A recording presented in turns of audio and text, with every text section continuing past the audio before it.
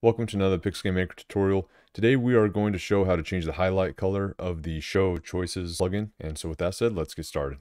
So first we need to make sure that the Show Choices plugin is installed and that you have an image associated with it. Make sure that this is not set. And when you have that, you can, in your objects, you can now use the Show Choice runtime action. So it looks something like this. I do have a video on how to use it and install it. So if you're more interested in that, you can click on the link above. This is just going to purely go over how to change the highlight color. So you can see that I have choice one, choice two, choice three. And so when we play test and I bring it up here, you can see that we get the choices and I have selected the middle option or it's, I think it's called black. Let me see real quick. Yeah, it's called black. If I chose white frame, it would actually give us the white frame that's associated with the the image. But you can see that we have this kind of teal green color uh, cursor as it's scrolling down. And we don't have any options in the runtime action to change that. You can see there's no option right here to change that. And so how we can change that is by going into the plugin. And in order to do that, we're going to close out. We're going to go to File, Open Project folder. We're going to go to the Plugins folder here. And then here is where you're going to get a list. You notice that they're numbered. And whenever you add any kind of a resource, whether it's an image, a sound effect or anything, it's going to number it so that the system can quick access or it's it's all associated with the data. It, it knows the number.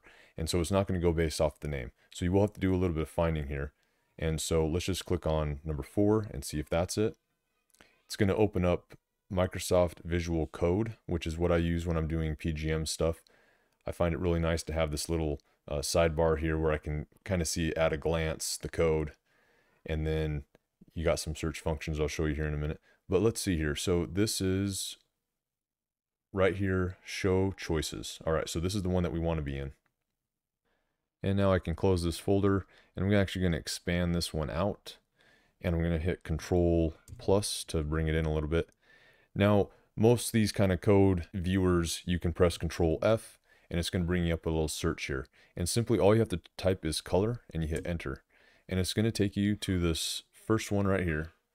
And this is going to be the color that in numbers that we're used to as far as like filling out in the animations tab and stuff like this, the RGBA.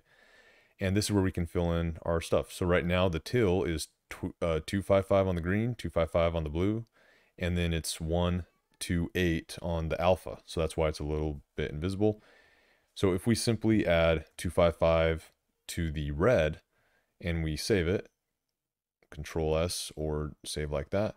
And now if we go to playtest and we bring up the choices, we can see that now we have a white. And you can do all sorts of things. You can change the uh, alpha. Let's do alpha to 255 as well. Control S. Go back to our game. And now it's going to be solid. But it is going to be fading in and out. So you'll get that, that uh, option as well. And so yeah, hopefully that helps. I know that's one of the the bigger issues with this plugin is you might not want that that teal color might not fit in. So that is one easy way to do it by opening up the plugin, searching color, and then changing the color right in this area. And so yeah, hopefully that helps. Any questions, comment below, Steam forums, Discord, we'll get you figured out. That said, I'll see you at the next video.